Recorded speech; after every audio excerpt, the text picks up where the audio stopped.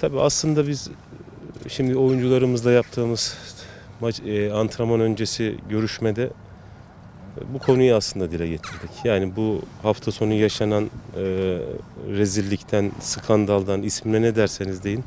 Buradan bir defa bizim kendimizi artık e, çıkarmamız gerekiyor. Yoksa bu durumda burada kalırsak e, bu iş bize zarar veriyor. E, bir faydasını da görmeyeceğiz. E, aynı şekilde tabii e, hafta sonu e, taraftarımızın da e, bir işte Manisa maçında yaşananlardan sıyrılıp tamamen oyuna, takıma desteğe, desteğe odaklanmasını istiyorum ben. E, bu hafta tabii önemli bir karşılaşma oynayacağız. Hayır, şunu da tabii yine dil- dile getirmek isterim. Yine ne kazanırsak e, biz şampiyon olup lige çıkacağız. Kötü bir durumda da e, her şeyi kaybedeceğiz. Tabii ki son haftalardaki puan kayıpları biraz e, avantajımızı yitirmemize sebep oldu ama işte e, futbolda biliyorsunuz biz ilk devreye de bu, bu şekilde bir sıkıntılı başlangıç yapmıştık ama sonrasında bir seri yakalayarak e, farkı açtık.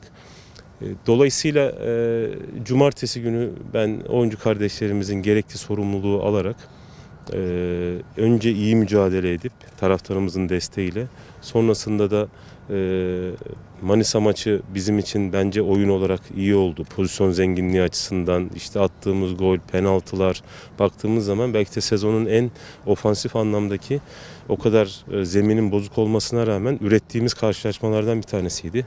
Ve defansif anlamda da aslında pozisyona baktığımızda hani iki pozisyonla iki gol yediğimiz, ikisinde de bireysel hataların ön plana çıktığı şanssız bir maç oynadık aslında. Dolayısıyla yine defansif anlamda da bir kalite ortaya koyarak e, güzel bir maç oynamak istiyoruz. E, yani amacımız bu. Ben e, cumartesi günü inşallah taraftarımızın bize vereceği e, güçle, destekle güzel bir maç oynayacağımıza inanıyorum. İnşallah hafta sonu e, kazanıp e, lige yeni bir başlangıç yapmak isteyeceğiz. Oğuz'un bir sakatlığı var, devam ediyor. E, onun dışında Atilla'nın cezası var biliyorsunuz. E,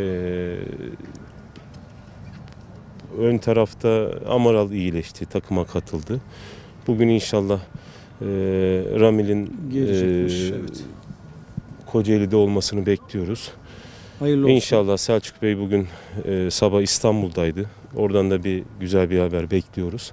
E, o arkadaşlarımızın da takıma katılımıyla Ekstra bir transferden ee, bahsediyorsun. Evet, evet. Ee, dolayısıyla e, hani eksiklerimizi e, büyük ölçüde gidereceğimizi düşünüyoruz. Sonrasında da zaten bir tane daha oyuncu kadromuza katıp e, bu transfer e, sürecinde kapatmak istiyoruz.